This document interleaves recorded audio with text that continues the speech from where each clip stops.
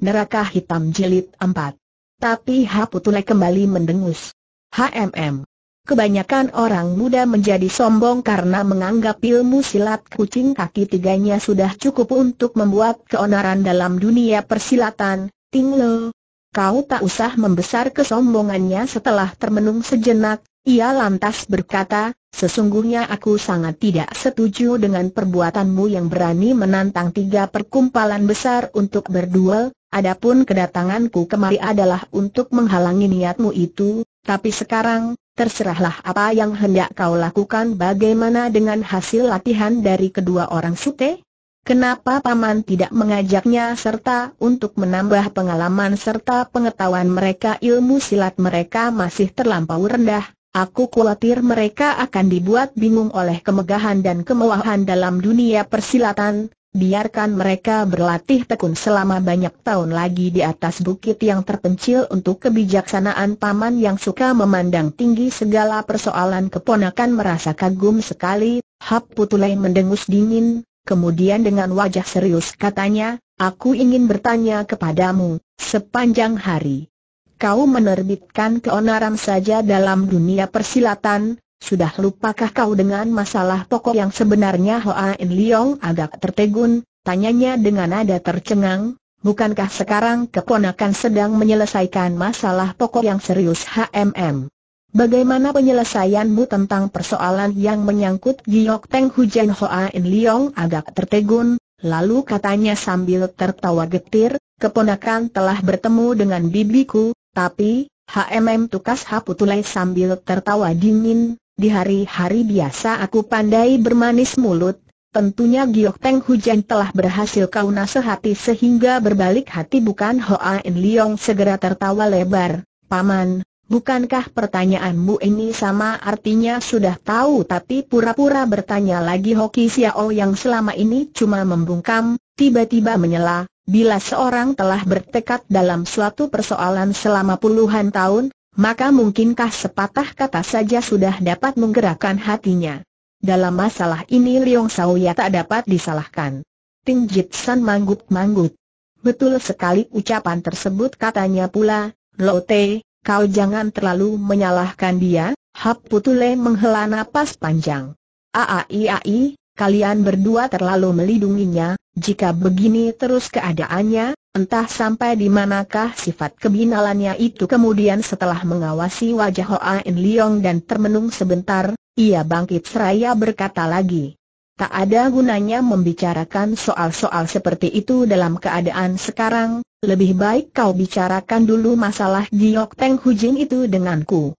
Lantaran masalahnya menyangkut masalah urusan pribadi keluarga Hoa, sebagai orang luar, Ting Ji San serta Ho Keosian merasa kurang enak untuk mencampurinya, maka mereka pun mohon diri lebih dulu. Sedangkan Hoa In Leong mengikuti Haputule keluar dari hutan berangkat menuju ke kota. Di tengah jalan Hoa In Leong bertanya, apakah bibiku juga sudah tiba di kota di Ciu Haputule menggelengkan kepalanya berulang kali. Yang akan kita jumpai sekarang adalah Pui Che Giok, Kau Chu dari perkumpulan Cian Li Kau, Sampai kini aku belum pernah bertemu dengan Giok Teng Hujin, oh, oh oh, rupanya dia. Aku sudah pernah bertemu dengan Ciampu itu, kata Seng pemuda sambil tertawa. Tiba-tiba Haputulai berseru dengan nada mendongkol, semalam, ketika aku tiba di kota Siciu sesungguhnya akan segera menemuimu, tapi secara kebetulan aku telah berjumpa dengan Pui Che Giok di tengah jalan. Waktu pertarungan di lembah Cubukok, Aku pernah bertemu sekali dengannya. Meski sudah lewat banyak tahun, ternyata raut wajahnya tidak mengalami banyak perubahan, maka sekilas pandangan saja aku dapat segera mengenalinya kembali. Selesai memberi hormat aku segera mohon kepadanya agar bisa berjumpa denganku Ing Ing, siapa tahu ia telah menampik permohonanku itu, HMM, HMM. Mungkin dia melihat aku adalah orang dari suhu Fibulo, maka dianggapnya bisa dipermainkan kehendak hatinya, diam-diam Hoa In Leong tertawa geli, pikirnya, di hari-hari biasa paman selalu tinggi hati dan permohonannya tak pernah ditampik orang, tak aneh kalau ia menjadi marah-marah, yaa, pasti baru pertama kali ini ia ketanggor batunya, cepat nian gerakan tubuh kedua orang itu, sementara pembicaraan masih berlangsung mereka sudah masuk ke dalam kota.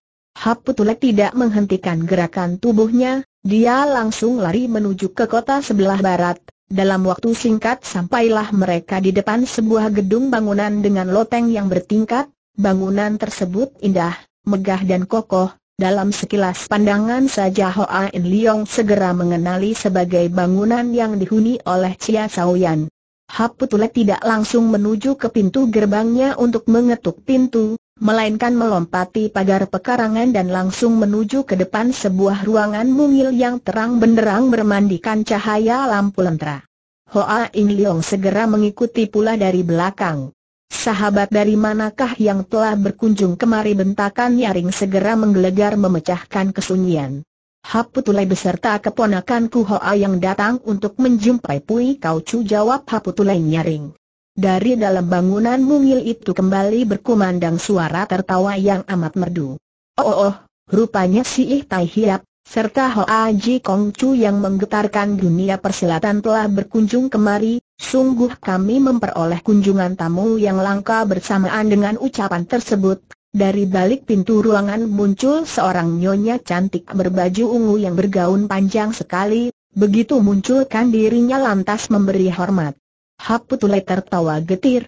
Aku telah mengganggu ketenanganmu berulang kali, tidak pantas dikatakan sebagai tamu yang langka, katanya, Nona Pui, Terlepas apakah si Tai Hiap menaruh perasaan tak puas terhadap diriku, silahkan masuk ke dalam untuk minum teh lebih dulu sebelum melanjutkan pembicaraan ini, tukas Pui Che Giok sambil tertawa.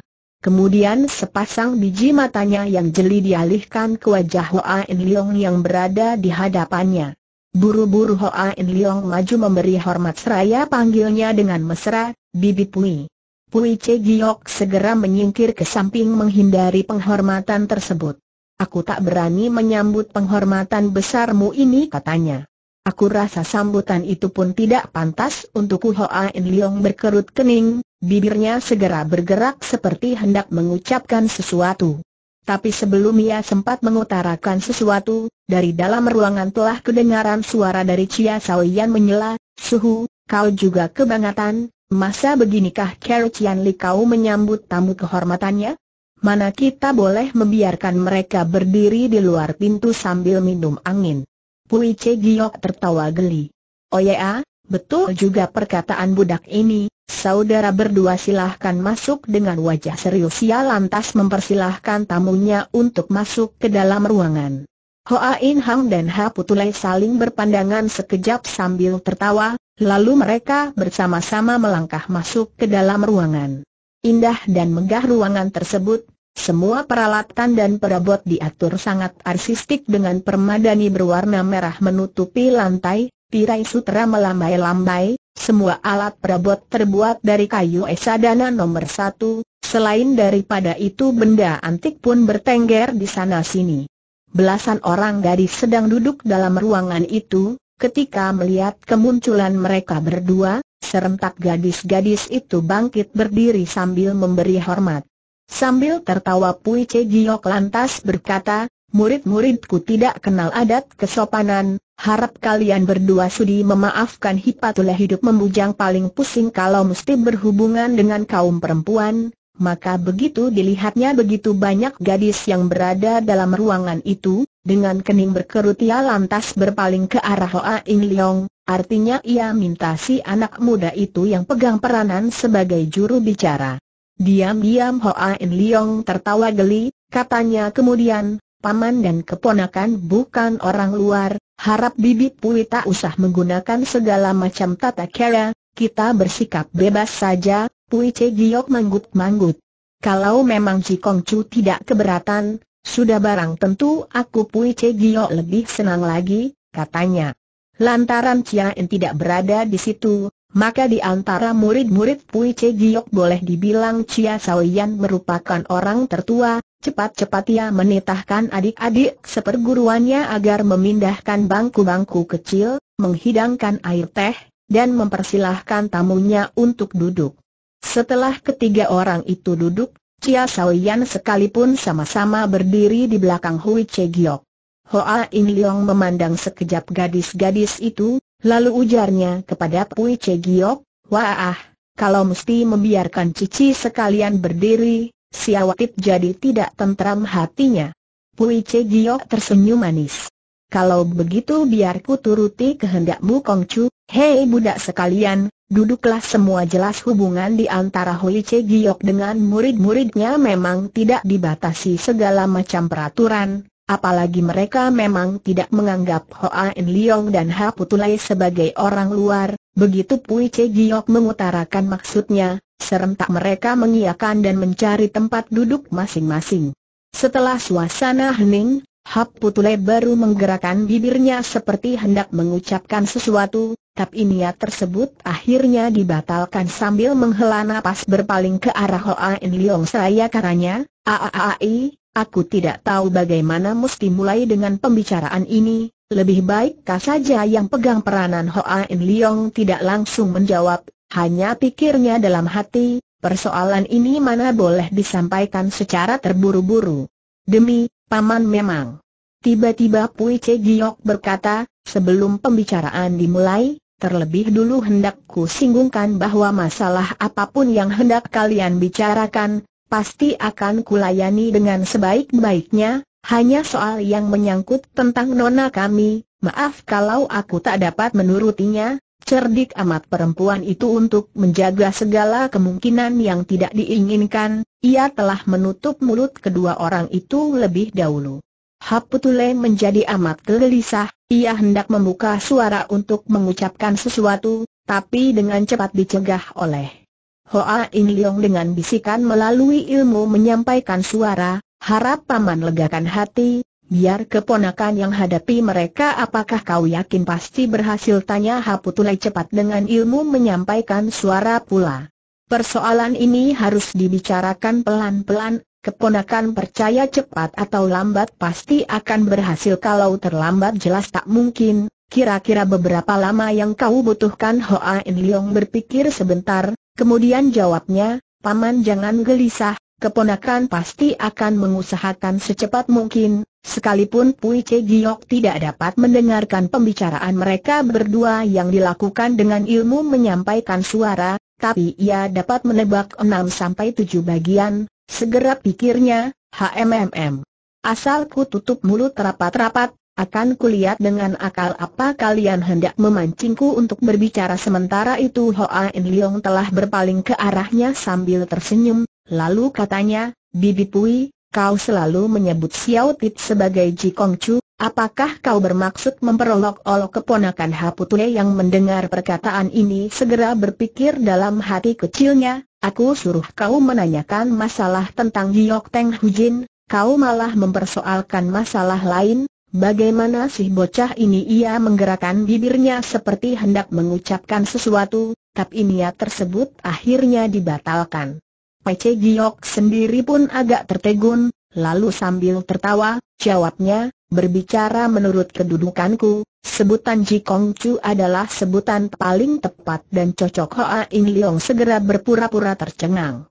Eh, bukankah Bibi Pui adalah adik angkat bibiku, lagi pula kau adalah Cian Li Kau Chi, Xiao Tit jadi merasa tak habis mengerti, di manakah letak kecocokan tersebut? Pui Che Giok hendak menjawab, tapi niat itu segera dibatalkan, setelah termenung dan berpikir sebentar katanya dengan ketus, bibiku musuh sungguhnya adalah nona aku Pui Che Giok, mana berani menyebutnya sebagai kakak angkatku, dengan sendirinya aku pun tidak pantas untuk menerima sebutan bibi dari Ji Kong Chu.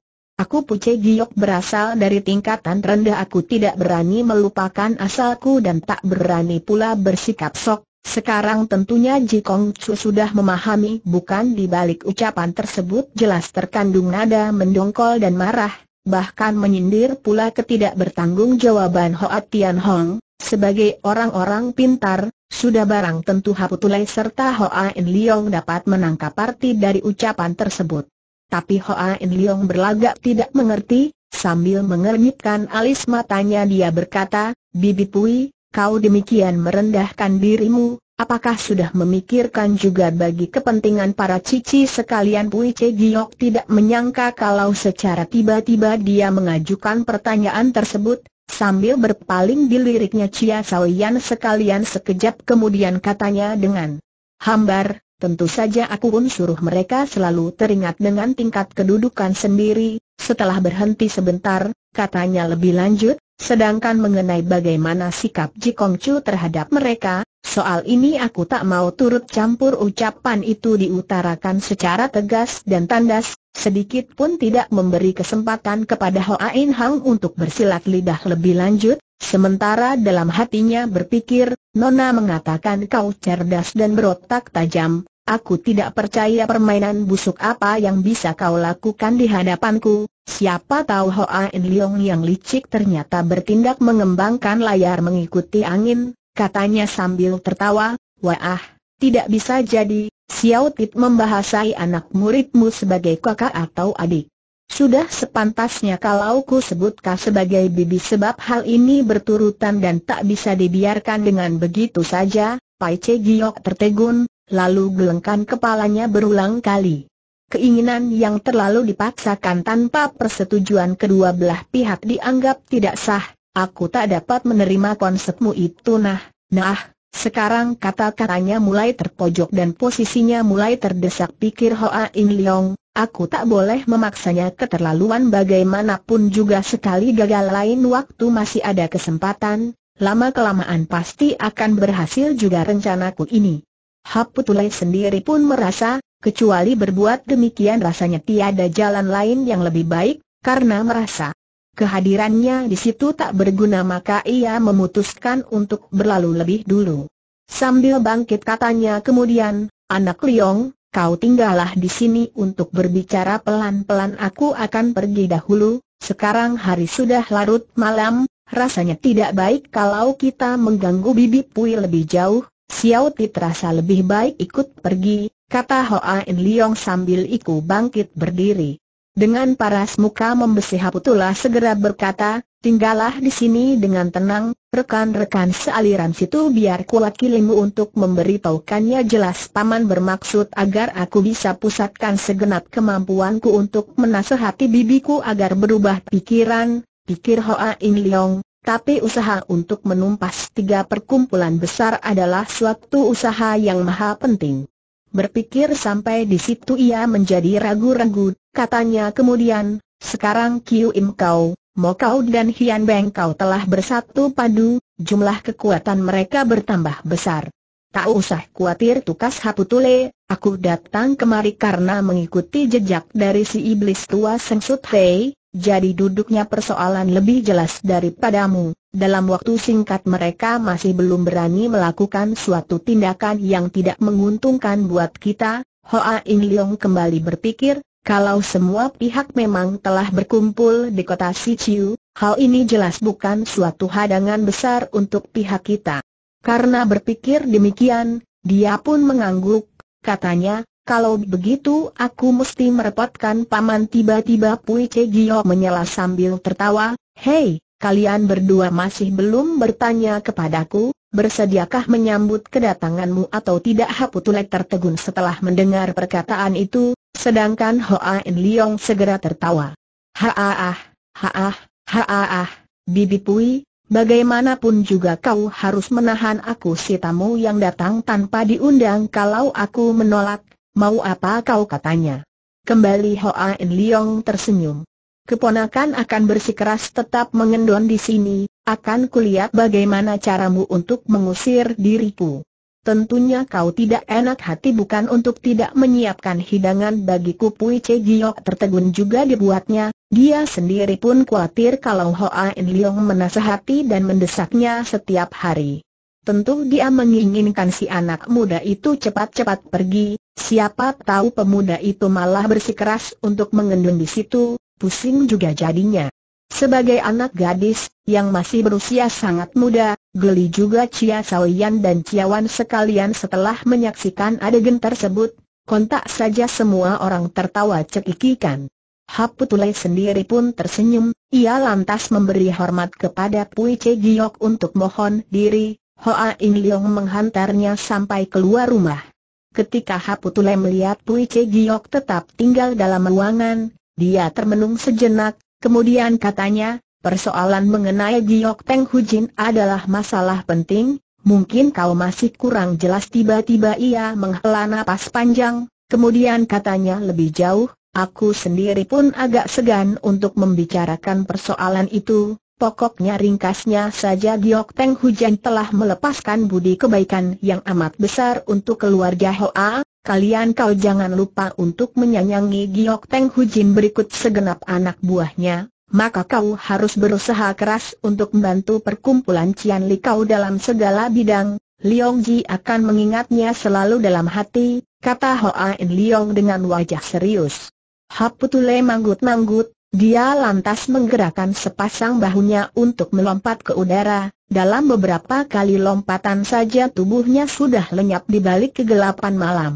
Ketika Hoa In Leong balik ke dalam ruangan, ia temui Pui Che Gio masih duduk termangu-mangu di sana, ia khawatir perempuan itu tak senang hati maka dengan suara lembut katanya Bibi Pui, apakah kau sedang mencari akal untuk mengusirku pergi? Pui Che Giok tertawa geli, Kau si bocah bina kalau bisa ingin ku gebuk dirimu setengah mati, tapi hatiku tak tega berbuat demikian.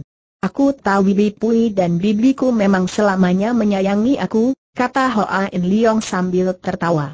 Tiba-tiba Pui Che Giok waspada, kembali pikirnya, bocah ini terlalu licik dan cerdik kalau terlalu banyak bicara, bisa jadi aku bakal tertipu, berpikir sampai di situ dengan wajah serius ia lantas berkata, Jikong Chu, meskipun kau berada di sini bukan berarti setiap kali bisa berjumpa denganku, makanya aku berkata duluan agar Jikong Chu jangan menuduh aku tidak menemani tamunya, ketika dilihatnya perempuan itu kembali menyebut Jikong Chu kepadanya, Hoa In Leong lantas berpikir, ulet juga perempuan ini, Tampaknya aku mesti menguji kesabaran serta kecerdasanku. Sambil tertawa ia lantas berkata, Bagus sekali. Berkumpul dengan para ciampuan memang kurang leluasa, mana mesti tunduk mana tak bisa berkutik. Aku memang ingin bermain dengan Cici sekalian Pui Che Giok tersenyum, ia lantas berpaling ke arah Cia Saoyan sembari katanya, perintahkan orang untuk membereskan ruangan sebelah barat, siapkan kelambu dan selimut, sementara waktu biar Hoa Kong Chu menginap di tempat itu, Chia Saoyan segera membungkukkan badannya sambil mengiyakan, Hoa In Leong pun tidak banyak bicara lagi, karena waktu sudah menunjukkan kentongan keempat, mengikuti Chia Saoyan ia melewati jalan beralas batu di halaman tengah dan menuju ke halaman lain. Tiba-tiba Hoa In Leong teringat dengan pesan Chia In yang hendak disampaikan oleh Chia Saoyan kepadanya, ia lantas bertanya, Encian, pesan apakah yang hendak kau sampaikan kepadaku dari sucimu itu sambil tersenyum Chia Saoyan melirik sekejap ke arahnya kemudian berkata dengan murung, kemarin pagi kau masih memanggil kepada kami, dan sekarang panggilanmu sudah semesrah itu, rupa-rupanya kau hendak menggunakan kami untuk mencapai tujuanmu. Aduh, Encian memendang pandai membikin orang menjadi penasaran, Masa kau anggap Xiao Te adalah manusia semacam itu kata Hoa In Leong sambil tersenyum. Chia Yan ikut tertawa. Sekalipun benar juga tidak mengapa, kenapa mesti mungkir, katanya lembut. Hoa In Leong cuma tertawa-tawa dan tidak berbicara lagi. Waktu itu mereka sedang menyeberangi sebuah jembatan kecil, tiba-tiba Hoa In Leong berhenti sambil mengawasi gardu di ujung jembatan sana dengan sinar mata tajam.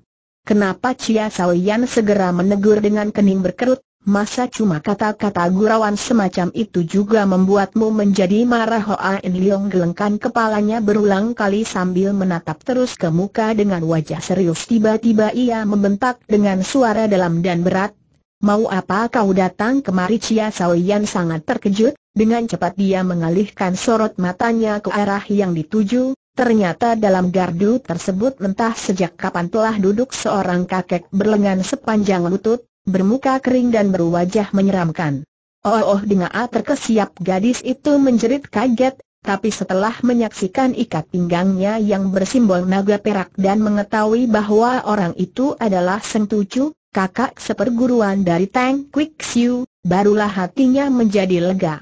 Sementara itu Seng Cucu sambil membentangkan sepasang matanya yang kecil berkata dengan suara menyeramkan, kau tak usah takut, Lohu tak akan melancarkan serangan terhadap seorang Xiao Pei, angkatan muda, seperti kau aku orang Sihoa juga bukan manusia munafik yang jeri terhadap orang lain, silahkan turun tangan kalau ingin turun tangan, orang lain tidak akan menuduhmu menganiaya kaum Xiao PWS Seng Socu segera mendengus dingin. HMM. Kau masih belum pantas, di mana Hwasyo tua itu jengeknya sinis. Oh, oh, oh, rupanya ia sedang mencari kongkong, jelas ingin menggunakan kesempatan di kala orang sedang lemah untuk mencari keuntungan bagi diri sendiri, pikir Hoa In Leong. Agaknya Seng Cucu dapat menebak suara hati Hoa In Leong, kembali katanya, Hei Xiao Pwe, kau tak usah menduga yang bukan-bukan, toh tak nanti akan turun tangan terhadap seseorang yang belum pulih kembali tenaga dalamnya, dia orang tua tidak berada di kota Siciu tampaknya bakal membuat kekecewaanmu, kata si anak muda itu ketus. Aku tidak percaya, Hwasyo tua itu telah menganggapmu sebagai calon menantunya keluarga Choa, masa ia tidak akan memperdulikan keselamatan jiwamu Hoa In Leong segera tertawa. Lucu amat perkataanmu aku orang si Hoa juga bukan bocah yang berusia tiga tahun, Masa aku tak dapat mengurusi diriku sendiri? Setelah berhenti sejenak, katanya lagi sambil tertawa, ayahku berada di perkampungan Liok Soat Sanceng, bila kau ingin beradu kepandaian apa salahnya kalau langsung mencarinya di Bukit Im Tiong San jelas di balik ucapan tersebut dia maksudkan bahwa Seng Cucu jeri terhadap Hoa Tian Hong. Di atas wajah Seng Cucu yang kaku dan tanpa emosi itu terlintas sedikit perubahan, Sepasang matanya yang kecil segera dipentangkan lebar-lebar, cahaya hijau yang menyeramkan segera memancar keluar, jelas ia sudah dibuat naik darah. Hoa In Leong segera mengerahkan tenaga dalamnya bersiap sedia, pikirnya dalam hati, sorot matanya mencurigakan, entah kepandaian iblis apa yang dia yakinkan timbul kewaspadaan dalam hatinya, dengan pancaran sinar tajam ia balas menatap wajah Sentucu, sedikit pun tidak terlintas rasa takut dalam hatinya. Beberapa kali Chia Saoyan main memanggil rekan-rekannya, tapi ia takut tindakan tersebut menimbulkan nafsu membunuh dalam hati Sengtuca, hatinya menjadi masgul dan tak tahu apa yang mesti dilakukan. Setelah saling bertatapan sekian lama akhirnya Seng Cucu menarik kembali sorot matanya, wajahnya pulih kembali menjadi kaku, tanpa emosi setelah membebaskan ujung bajunya, bayangan hitam berkelebat lewat dan tahu-tahu ia sudah lenyap tak berbekas. Ia datang secara mendadak, pergi secara tiba-tiba, pada hakikatnya para penjaga dari Cian Likau tidak mengetahui atas kehadiran maupun kepergiannya. Kesal juga perasaan Hoa In Leong pikirnya, ilmu silat yang dimiliki gembong iblis ini sungguh amat lihai, Wah kalau mau kau sampai ditunjang oleh jago selihai ini, bahaya juga pihak mereka itu Chia Saoyan menghembuskan napas lega, katanya, pergi datangnya gembong iblis ini sangat tiba-tiba dan mengherankan, AAI, perkumpulan kami benar-benar telah dipecundangi olehnya, Hoa In Leong tersenyum. Berbicara dari tingkat kepandaian silat yang dimiliki gembong iblis itu, sudah barang tentu para peronda biasa tak akan mengetahui jejaknya, untungnya para gembong-gembong iblis tersebut tidak suka menganiaya Xiao Pue, segera kulaporkan kejadian ini kepada suhu tidak usah, kini sudah kentong sen kelima lebih, besok saja baru dilaporkan, Chia Saoyan berpikir sebentar kemudian mengangguk, dia pun mengajak Hoa In Leong menuju ke ruangan sebelah barat. Menanti para dayang selesai membereskan ruangan tersebut, hari pun mulai terang tanah. Ketika dilihatnya gadis itu tidak menyinggung kembali pesan dari Ciain, Hoa In Leong pun tidak banyak bertanya lagi, meski diam-diam ia merasa agak keheranan. Menunggu Chia Saoyan telah mengundurkan diri, Hoa In Leong mendengar ayam jantan telah berkokok pertanda fajar telah menyingsing, dia pun tidak tidur melainkan hanya duduk bersemedi sambil mengatur pernapasan. Tanpa terasa Seng Surya sudah jauh di awang-awang tiba-tiba dari jalan setapak terdengar suara langkah manusia, disusul suara dari Chia Lem Chiao sedang bertanya dengan suara keras, apakah Siu Sauya telah bangun Hoa En Liong segera turun dari pembaringannya dan berjalan menuju ke pintu. Di depan ruang kamar adalah sebuah kebun dengan aneka warna bunga yang amat indah, di bawah terpaan cahaya Seng Surya, Tampak segerombolan gadis cantik dengan baju yang beraneka ragam sedang memetik bunga dengan senyum manis di kulum. Mereka muncul dari jalan-jalan kecil menuju ke ruang tengah. Menyaksikan pemandangan yang sangat indah itu, tanpa terasa Hoa In Liong bersorak sambil bertepuk tangan. Murid-murid Pui Che Giok yang menyaksikan sikap riang dari pemuda itu segera ikut tertawa cekikikan hingga menambah semaraknya suara waktu itu. Sauya kata Ciawan, sarapan pagi telah disiapkan, cepat cuci muka dan cuci mulut, budak sekalian siap menanti perintahmu tak terasa Hoa In Leong maju menghampiri mereka, katanya, Enciwan, sekalipun kau sedang bergurau tapi Xiao tetap kuasa untuk menerimanya, Ciawan tersenyum. Siapa ya sedang bergurau? Semalam suhu minta kami semua agar ingat selalu dengan kedudukan sendiri, bukankah Sauya juga ikut mendengarkan? Hoa In Leong segera tertawa terbahak-bahak. Haa ah, haa ah, haa ah, sekarang Bibi Pui berada di mana? Sudah sempatnya kalau ku beri hormat dulu kepadanya, Cia Lem Ciao tertawa cekikikan. Berhubung ada tamu jayat yang berkunjung tanpa permisi, terpaksa suhu harus menghindarkan diri, Enci Ciao, harap jangan bergurau, seru Hoa In Leong dengan alis mata berkenyit. Suhu benar-benar sedang pergi, tukas Chia Lem Chiao cepat, sebelum berangkat ia pesan bahwa pemilik rumah ini sekarang adalah Ji Kong Chu, beliau suruh kami baik-baik melayani dirimu, oh oh oh oh oh oh oh oh oh oh. Mendengar jawaban tersebut, diam-diam Hoa In Leong lantas berpikir, tampaknya Bibi Pui memang sengaja menghindar, sementara ia masih termenung, Dua orang dayang yang melayaninya telah muncul sambil membawa baskom untuk cuci muka, handuk, alat untuk membersihkan mulut dan lain sebagainya, sementara murid-murid Pui Che Giok telah masuk ke ruang depan. Dalam ruangan tengah telah tersedia sarapan pagi, hidangannya amat mewah dan lezat. Baru saja Hoa In Liong duduk, Chia Yan telah mengambilkan semangkuk bubur sambil menghidangkan di hadapannya. Silahkan Sauya katanya. Sambil tertawa Hoa In Leong gelengkan kepalanya berulang kali. Encian, kenapa tidak menyuruh para dayang saja dengan cepat Cia Sauyan tersenyum.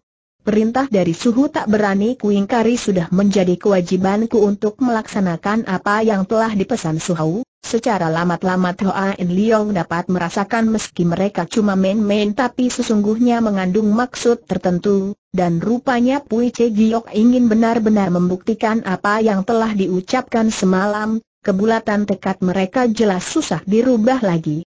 Diam-diam ia lantas berpikir, aku tidak percaya bibiku dan kau bisa bersembunyi sepanjang masa, Asal bertemu aku pasti punya akal untuk menaklukkan kalian. Tiba-tiba ia teringat kembali akan diri Choa Wiwi dan Wan Hang Giok Segera pikirnya, keadaan adik Kui masih rada mendingan tapi Hang Giok, hidup sunyi seorang diri, kasihan benar nasibnya. Ia teringat betapa Wan Hang Giok hanya mempunyai seorang guru, dengan punahnya tenaga dalam yang dimiliki, penderitaan tersebut tentu akan luar biasa beratnya, lain dengan keluarganya yang tiga generasi mengembara dalam dunia persilatan, di mana-mana selalu ada teman akrab yang membantu.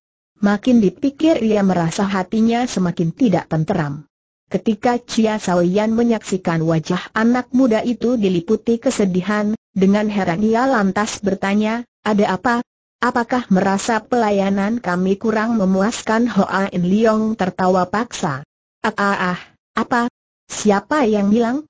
Xiao Te malah merasa telah menodai nama baik Cici sekalian. Oh, oh, oh, itu sih tidak terdengar. Seorang gadis yang berada di sisinya menyelah, asal kau bersedia tidak menyulitkan suhu dan supek kami, hal ini sudah lebih dari cukup untuk kami semua. Hoa In Leong segera berpaling ke arah orang itu, ternyata dia adalah murid ke-11 dari Pui Che Giok, Melihat itu sambil menghela napas ia lantas berkata, Cici sekalian sudah. Sepantasnya kalau membantu aku untuk menasehati bibku serta gurumu, tapi para gadis itu cuma menutup bibir sendiri sambil tertawa cekikikan, mereka tidak berbicara apa-apa. Sekalipun sarapan pagi itu dihidangkan makanan yang serba lezat, akan tetapi lantaran takaran makan Hoa In Leong tidak terlalu besar, lagi pula ia hanya memikirkan bagaimana caranya untuk menjumpai Tiong Heng Cukoh, maka hanya sedikit yang dia habiskan hidangan-hidangan tersebut. Selesai bersantap, tiba-tiba muncul Lolo Chia yang pernah ditemui sebagai kusir keretanya Chia Im, sambil memberi hormat. Katanya, ruang depan dan ruang timur serta barat telah selesai dibersihkan silahkan Ji Kong Chu melakukan pemeriksaan. Hei, mau membersihkan ruangan atau tidak toh urusan kalian, apa sangkut pautnya dengan aku seru Hoa In Liong keheranan.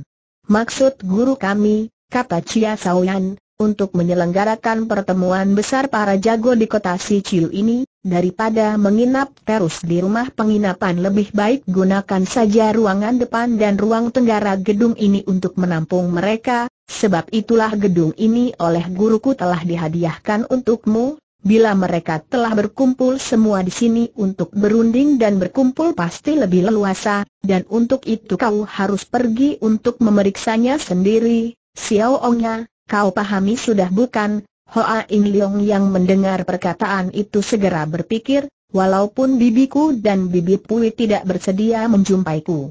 Tapi mereka selalu memikirkan kepentingan, tentu saja kesemuanya ini lantaran ayahku, berpikir sampai di sini, ia segera meraba bahwa untuk menasehati Tiang Beng Cukoh agar berubah pikiran sesungguhnya tidak lebih sulit dari apa yang dihadapinya kini, tanpa terasa semangatnya kembali berkobar diiringi para gadis mereka pun berputar mengelilingi ruangan untuk mengadakan kontrol. Menurut tanggapan Hoa In Leong, bangunan itu cukup kokoh dan megah, peralatannya komplit dan sangat berlebihan untuk menampung para kawanan jago. Akan tetapi anak muridnya Pui Che Giok merasa sangat tidak puas, yang satu mengatakan kurang ini, yang lain mengatakan kurang itu, Bahkan ada pula yang mengatakan peralatan semacam ini hanya akan ditertawakan orang persilatan saja. Hoa In Leong pura-pura tidak mendengar, ia mengundang Chia Saoyan menuju ke tengah kebun lalu ujarnya, Encian, sebenarnya apa yang hendak dikatakan oleh Sucimu? Sekalipun bernada mendamprat, tolong katakanlah sejujurnya, Chia Saoyan tertegun, setelah termenung sejenak, katanya kemudian, Toa Suci telah berpesan, Katanya bila aku merasa tidak perlu untuk mengatakannya, maka aku tak usah mengatakannya. Hoa In Leong menjadi keheranan, pikirnya, kenapa ia ragu-ragu untuk berbicara denganku? Aneh, pasti ada sesuatu yang tidak beres. Semakin perempuan itu tak mau berbicara ia semakin mendesak berulang kali. Cia Saoyan termenung sejenak, Tiba-tiba ia memetik setangkai bunga anggrek merah lalu dilumatnya dengan kedua belah tangan, setelah itu ditebarkan ke udara, ada yang jatuh di tepi kolam, ada yang jatuh dalam kolam. Sambil menunjuk bunga-bunga lumatan yang tersebar ke empat penjuru katanya, sudah kau lihat sudah jawab Hoa In Leong. Cia Saoyan menghela nafas sedih. Sudah tahu kembali ia berkata, Teka-teki ini tidak kupahami Cia Saoyan menghela nafas sedih, katanya, bunga yang jatuh dari tangkainya akan mengalir mengikuti arus air, atau hancur menjadi tanah, kehidupan manusia tidak selalu kekal seperti berakar lamat-lamat Hoa In Leong dapat merasakan maksud dari perkataan itu. Terdengar Cia Saoyan berkata lebih jauh, aku rasa apa yang kuterangkan sudah cukup jelas, Masakah kau tidak mengerti? Hoa In Leong semakin memahami lagi maksud ucapannya itu, sambil tertawa berat katanya, bagaimanapun juga kehidupan manusia jauh berbeda dengan bunga sejak dulu sampai sekarang, Tian menciptakan manusia bukan bernasib. Seperti sekuntum bunga, nasib manusia tetap sebagai manusia, ah ah ah, perkataanmu terlampau kosong dan hampa, kata Chia Xiao Yan sambil menggelengkan kepalanya, mundur selangkah, seperti juga kalian jago-jago kenamaan, Mana bila dibandingkan dengan kami perempuan-perempuan lemah setelah berhenti sejenak katanya lebih jauh dengan sedih. Coba bayangkan saja seperti adikmu, seperti adik dari keluarga Choa, semenjak dilahirkan mereka sudah ditakdirkan bernama dan terhormat, baik ilmu silat maupun ilmu sastra bisa diperoleh dengan gampang, mereka merupakan gadis-gadis yang menjadi impian setiap pria di dunia ini, sebaliknya kami bersaudara, AAI untuk disebut sebagai keturunan perguruan kenamaan saja tidak pantas Hoan. Liong gelengkan kepalanya berulang kali. Encian, perkataanmu keterlaluan, selama orang lain tidak membicarakan masalah itu, keluarga Hoa kami tak sampai bisa memiliki jalan pemikiran seperti itu, aha, kami ini betul-betul seorang TI urbusuk cilik, berapa banyak keluarga Hoa yang ada di dunia ini? Tahukah kau apakah orang lain suka berpikir demikian Hoa Ing Leong segera tertawa. Di dalam sepuluh langkah pasti ada rumput baru, Aku tidak ingin mendengarkan perkataan semacam itu tukas Chia Xiao Yan dengan cepat, aku hanya ingin bertanya kepadamu, apakah kau bermaksud memungut bunga? Apakah kau tidak keberatan untuk memungut bunga dalam jamban yang telah ternoda? Hoa Ing Leong menjadi tertegun, ia ragu-ragu untuk sesaat, lalu katanya, dunia bukan selebar daun kelor, pasti akan ditemukan orang yang bersedia memungut bunga, Cia Yau yang tertawa dingin, ia putar badan dan tanpa mengucapkan sepatah kata pun segera berlalu dari situ. Encian, harap tunggu sebentar buru-buru Hoa In Liong berseru dengan cemas. Cia Saoyan menjejakkan kakinya di tanah dan berlalu tanpa berpaling lagi, sambil berjalan pergi, katanya, Toa Suci suruh aku memberitahukan kepadamu bahwa dia adalah seorang banyi buangan, Senya mengikuti gurunya Si Pui dan bernama Enang. Habis berkata ia lantas melangkah pergi dari situ. Dengan termangu-mangu Hoa In Leong mengawasi bayangan punggungnya hingga lenyap dari pandangan, kemudian menghela napas panjang. Sekalipun perkataan dari Chia Yan diutarakan secara lamat-lamat, tapi sebagai orang yang cerdik tentu saja ia memahami maksudnya, timbul perasaan sedih di hati kecilnya, Sambil berjongkok tangannya diceburkan ke dalam kolam dan membuyarkan rontokan bunga anggrek di atas permukaan. Lama-lama sekali, ia baru menghela napas panjang, bangkit dan berlalu dari situ.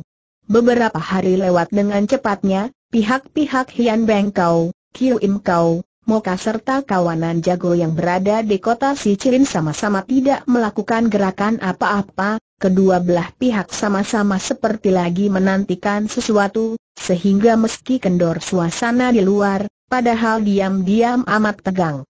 Terutama sekali kawanan jago dari Kiu Im Kau yang dipimpin oleh BWS Suyok, sejak masuk kota dan menetap di rumah keluarga Chio di selatan kota, hampir selama 8-9 hari tak pernah keluar rumah, pintu gerbang mereka selalu berada dalam keadaan tertutup. Setiap kali bila Hoa In Leong ingin melakukan pengintaian terhadap gerak-gerik Kiu Im Kau, bila terbayang kembali bagaimana jadinya bila bertemu dengan BWS Suyok nanti, akhirnya rencana tersebut tentu dibatalkan di tengah jalan. Di antara mereka, kelompok pemuda yang dipimpin Kong Sun Peng paling tak betah, Berulang kali mereka mengusulkan agar Mi langsungkan pertarungan terbuka melawan Mo Kau tapi sambil tersenyum Hoa In Leong selalu menghalangi niat tersebut. Peristiwa ini merupakan peristiwa yang paling mengemparkan dalam dunia perilatan sejak suasana tenang 20 tahun belakangan, bukan saja semua kelompok manusia berkumpul di kota Siciu, Malah para jago aneh yang sudah lama mengasingkan diri di pegunungan terpencil pun berdatangan semua ke situ. Yang paling tenang di antara mereka sudah tentu keluarga Hoa sendiri, jangankan kelompok mereka melakukan sesuatu gerakan, berita mengenai Hoa Tian Hang pun tidak kedengaran oh oh oh oh oh di luar pintu selatan kota Siciu terdapat sebuah warung teh kecil. Biasanya hanya para pedagang kecil, Pekerja kasar dan kuli-kuli kasaran yang mampir di tempat itu, biasanya setelah pagi sekali bekerja di kota maka tengah hari mereka beristirahat di situ sekalian mengisi perut dengan beberapa biji bakpao. Tengah hari itu, ada dua penunggang kuda sedang melakukan perjalanan menuju ke kota pintu selatan. Karena paginya telah turun hujan deras, air menggenangi jalan berbatu itu sehingga becek, ketika kuda-kuda itu berlari lewat, air lumpur segera memancarkan keempat penjuru dan mengenai tubuh beberapa orang lelaki yang kebetulan sedang berdiri di depan pintu warung. Salah seorang di antara mereka malah tersiram wajahnya hingga kotor, ketika orang itu mengetahui bahwa penumpang kuda tersebut berbadan kecil seperti seorang perempuan, kontan saja ia mencaci maki, perempuan peliharaan anjing lonte busuk. Tajam benar pendengaran perempuan di atas kuda itu, meski sudah berada beberapa kaki jauhnya, ternyata makian itu masih sempat terdengar olehnya. Mendadak tali les kuda ditarik, Diiringi ringkikan panjang, kuda itu segera mengangkat sepasang kakinya ke atas, sementara perempuan itu sendiri dengan enteng dan cekatan lompat turun dari kudanya. Sekilas pandangan, dapat diketahui bahwa orang itu berilmu tinggi penunggang kuda di depannya yang menyaksikan kejadian itu segera memutar balik kudanya sambil menghampirinya, dengan suara keras ia bertanya. Jimuai, kenapa, kau? Dua orang gadis itu berbaju ungu kedua-duanya menggambol pedang dan berpakaian ringkas. Usianya belum melewati angka 20. Gadis berbaju hijau yang dipanggil Jimoai itu segera berkata, tunggu sebentar Toachi lalu dengan wajah dingin membesi, ia menatap ke arah warung teh itu sambil menegur dengan ketus, siapa yang barusan memaki? Hayo keluar tampaknya laki-laki yang memaki tadi masih belum merasa kalau gelagat tidak menguntungkan, dengan angkuh dia menjawab, mau apa kalau to ayammu, belum habis ucapan tersebut. Plok sebuah tamparan keras telah bersarang di pipi kirinya, lima buah bekas jari tangan membekas jelas di atas wajahnya. Kontan saja para lelaki lainnya tertawa tergelak setelah menyaksikan kejadian tersebut. Laki-laki merasa ya malu ya marah, setelah celingukan sekejap kembali makinya, lonte busuk, Toaya akan beradu jiwa denganmu mendengar perkataan itu, si nona berbaju hijau semakin naik pitam, dengan kening berkerut dan wajah diliputi nafsu membunuh. Kering ia meloloskan pedangnya dari sarung kemudian diacungkan ke hadapan lelaki tersebut. Ketika laki-laki itu menyaksikan cahaya putih berkelebat di hadapan matanya, ia menjadi ketakutan dan pecah nyali. Hawa amarahnya seketika lenyap tak berbekas, dan ia mundur berulang kali ke belakang. Suasana dalam warung teh menjadi gempar, jeritan kaget berkumandang dari sana-sini. Gadis berbaju ringkas warna ungu itu masih duduk di atas pelananya tanpa berkutik, Agaknya ia merasa kalau adiknya telah membesarkan persoalan kecil, baru saja ia berseru dengan kening berkerut, Jimuai, tiba-tiba dari arah tembok kota sana berkumandang nyaring bentakan seseorang, sahabat dari manakah yang hendak pamer kekuatan di kota Siciu? Aku Kong San Peng ingin menjumpainya, seorang pemuda berbaju ringkas dengan menggembol pedang tiba-tiba melayang turun dari atas dinding kota dengan kecepatan luar biasa. Sebenarnya gadis berbaju hijau itu meloloskan pedangnya hanya bermaksud untuk menakut-nakuti orang, tidak terlintas sama sekali niat untuk menyusahkan orang itu, akan tetapi setelah ada orang yang mencampuri urusan tersebut, ia menjadi naik darah, pedangnya malah sungguh-sungguh dibacokkan ke tubuh orang itu. Ampuni selembar jiwanya nona bentakan serak basah kembali menggelegar.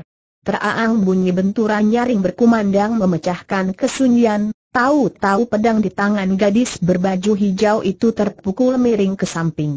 Laki-laki yang diancam itu menjerit kaget kemudian roboh tak sadarkan diri.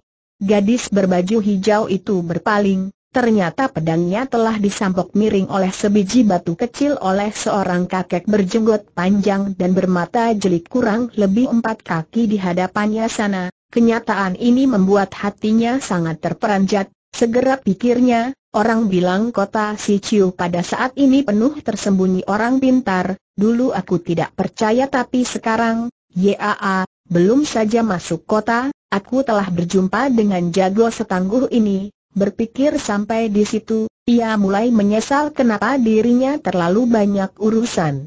Kong San Peng sebenarnya sedang cemas karena tak sempat menghalangi bacokan si gadis berbaju hijau itu, Ia baru lega setelah kakek itu turun ringan mengatasi persoalan tersebut sambil memberi hormat kepada kakek itu segera ujarnya, Terima kasih banyak atas bantuan Ho Chian Pwe Kong Sun Hian Te tak usah banyak adat, sudah sepantasnya kalau ku campuri urusan ini, cegah kakek tersebut.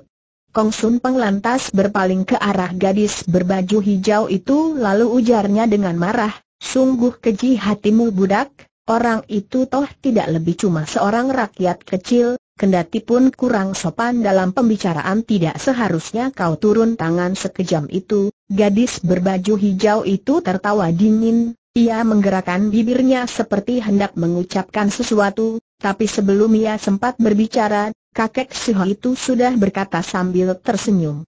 Kong Sun Hiante, kau telah salah menuduh nona itu, jurus Giok Li Sihian, Gadis cantik memintal sutera, yang digunakan nona itu meski tertuju ke jalan darah Tulong Hiat namun ia sudah menghentikan gerakannya setengah mili dari sasaran, timpukan batu dari lolap tadi pun hakikatnya cuma suatu tindakan yang berlebihan, lalu kepada gadis berbaju hijau itu katanya, jurus pedang yang nona pergunakan adalah jurus tangguh dari aliran Hoasan, Entah apa hubungan Nona dengan Kiong Tai Hiap dari Partai Hoasan gadis berbaju hijau itu tidak menyangka kalau jurus serangannya berhasil diketahui orang sebelum tusukan itu sendiri mengenai sasaran, ia pun sadar bahwa kakek itu tentu seorang jago lihai.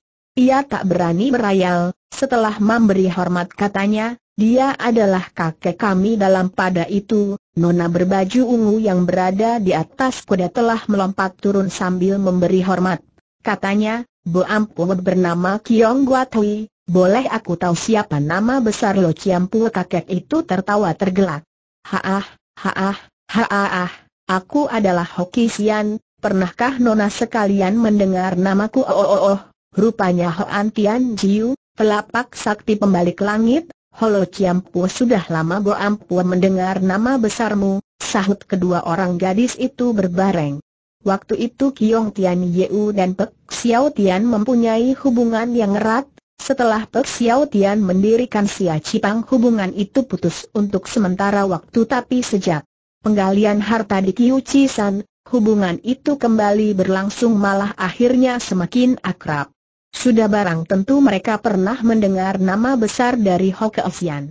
Kembali Hoki Sian tertawa terbahak-bahak, katanya, Nona adalah, Bo Ampue bernama Kiong Guatlan sahut gadis berbaju hijau itu cepat-cepat.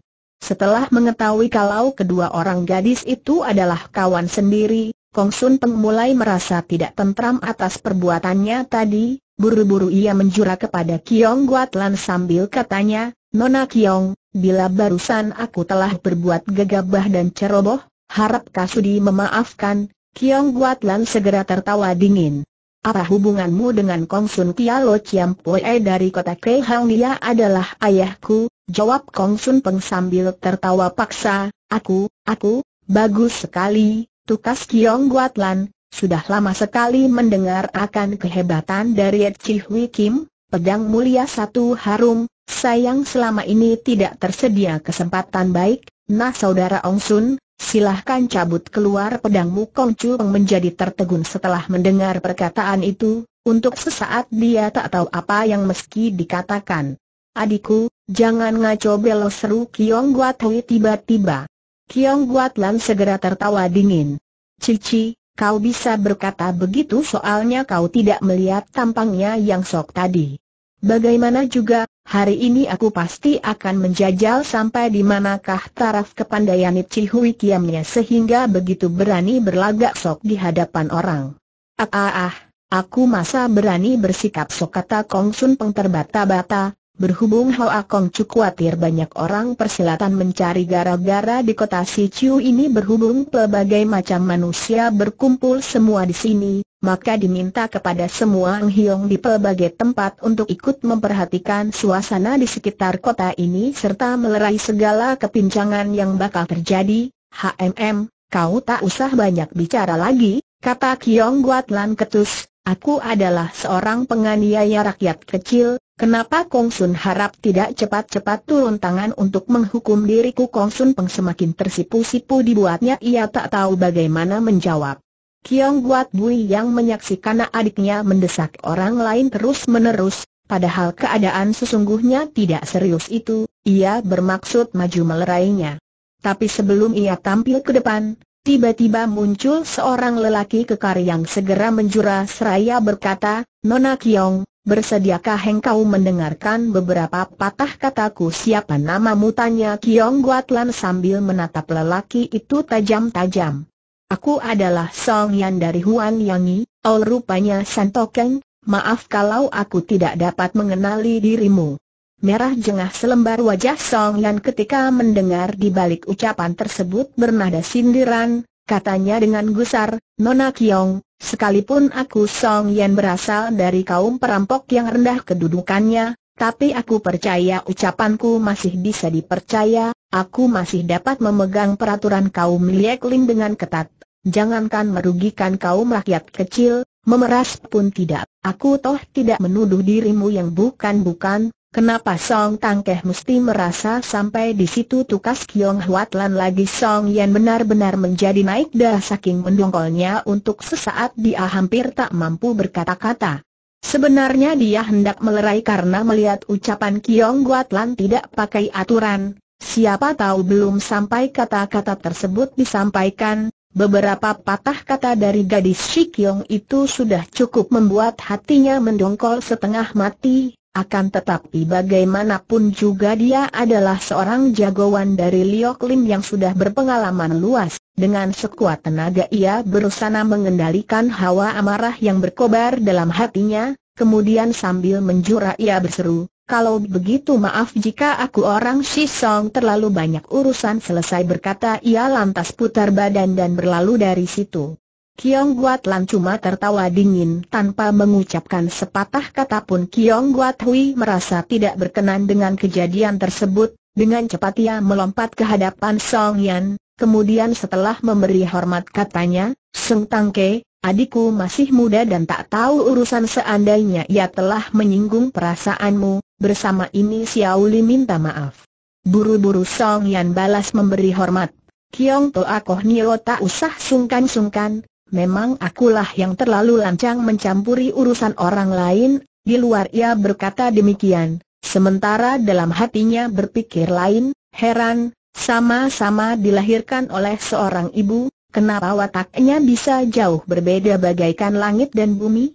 Kalau Seng Enci lembut dan tahu sopan, dan adiknya angkuh, binal dan susah diatur, di pihak lain, Kong Sun Peng juga sedang berkata, Nona, masa terhadap urusan sekecil ini pun kau mempersoalkan terus, tindakan Nona sungguh membuat aku menjadi tidak habis mengerti, sambil tertawa dingin Kiong Guatlan segera menukas, Aku adalah seorang nona yang berpikiran picik dan berdada sempit, mengerti kalau nona telah berkata demikian, aku pun tak bisa berbuat apa-apa lagi, entah apa yang mesti kulakukan sehingga dapat meredakan rasa marah nona tanya Kong Sun Peng kemudian dengan kening berkerut. Kiong Guat Lan menggetarkan pedangnya ke depan tiba-tiba ujarnya kepada Kong Sun Peng. Sejak tadi aku toh sudah berkata kepadamu, aku hendak minta petunjuk ilmu pedangmu. Tindakannya ini sangat menantang, sebagai anak muda yang berdarah panas tentu saja Kong Sun Peng tidak tahan, hawa amarahnya kontan meledak, pikirnya, budak ini benar-benar tidak tahu aturan, kalau tidak ku beri sedikit pelajaran kepadanya, dia pasti akan mengira aku, orang Shi Kong Sun Jori kepadanya, Berpikir sampai di situ, dengan wajah serius, ia lantas berkata, Aku hanya tahu bahwa diriku bukan tandingan nona, ah ah ah, tak usah banyak cerewet cabut pedangmu seru Kiong Guatlan tampaknya tidak sabar lagi. Ia sudah dipaksa terus-menerus akhirnya tentu saja Kong Sun Peng tidak tabu, pedangnya segera diloloskan dari sarungnya, Hoki Sian hanya bisa gelengkan kepalanya berulang kali melihat mereka beribut bahkan hendak beradu senjata cuma disebabkan soal kecil, segera selanya, Nona Kiong, dapatkah memandang diriku?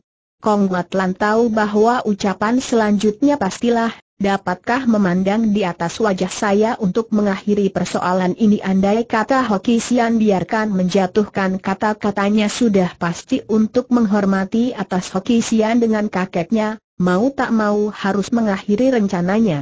Sebagai gadis yang cerdik dapat cepat ia menukas pembicaraan orang sebelum perkataan itu berakhir, katanya, Holo Ciampual, jika kau ingin mempergunakan kedudukanmu sebagai Ciampu untuk mencegah keinginan Bo Ampual, terpaksa Bo Ampual akan menuruti perintahmu itu, Hoki Sian tertegun, akhirnya ia berkata, oh oh oh, Aku hanya ingin bertindak sebagai penengah saja. Bagaimana Carol Ciampu bertindak sebagai penengah? Hoki Jian berpikir sebentar, ia lu katanya, sesungguhnya persoalan ini hanya suatu persoalan kecil yang sama sekali tidak berarti, menurut pendapatku lebih baik kita singkap masalahnya secara terbuka saja, Kiong Guat Lan tertawa merdu. Aku rasa pendapat Lo Ciampu pasti tak akan salah pada Bo Ampual, merasa bahwa apa yang telah kulakukan tadi memang tidak pantas, sebagai seorang jago lihai sudah seharusnya Kong Sun Sau Hiap memberi pelajaran yang setimpal kepadaku, diam-diam Kong Sun Peng mendengus setelah mendengar perkataan itu, pikirnya, HMM, rupanya kau juga tahu diri, terdengar Hoki Sian berkata, Nona sama sekali tidak salah, Bila Bo Ampu tidak bersalah, itu berarti Kong Sun Sau Hiap yang bersalah, meskipun Bo Ampu tahu bukan tandingan Kong Sun Sau Hiap, tapi, berkobar hawa amarah dalam dada Kong Sun Peng, ia segera tertawa terbahak-bahak. Haah, haah, haah, Ona tak usah banyak berbicara lagi, anggap saja akulah yang bersalah, silahkan turun tangan sejak tadi Kiong Guatlan memang sedang menantikan perkataannya itu, Sambil tertawa merdu ia berseru, bagus sekali, sambutlah seranganku ini tidak menanti Hoki Sian berbicara lagi, pedangnya langsung disapu ke depan, cahaya tajam berkilauan dan segera menyelimuti jalan darah penting di dada Kong Sun Peng. Sebuah jurus Hang Pa Jian Ho, angin semilir menggugurkan teratai, yang sangat bagus bentak Kong Sun Peng. Badannya berputar kencang, dari posisi menyerang segera berubah menjadi posisi bertahan, pedangnya dikembangkan dan digetarkan berulang kali melancarkan bacokan-bacokan maut.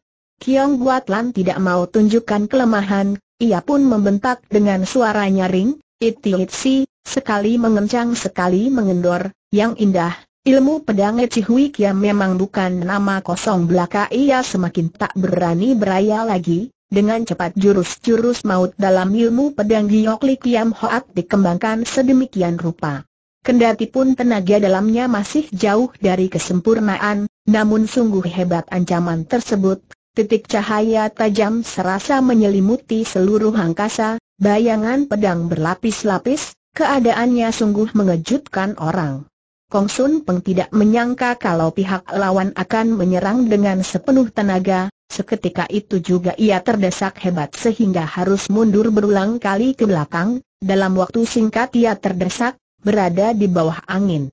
Begitu berhasil dengan serangannya, Kiong Guatlan semakin bersemangat lagi, ia tak sudi melepaskan musuhnya dengan begitu saja, sambil tertawa terkekeh ejeknya, HMM, Lo Chiam Pual, kau harus tahu bahwa bukan aku yang minta tapi Kong Sun Swahiap yang mengajak aku beradu tenaga.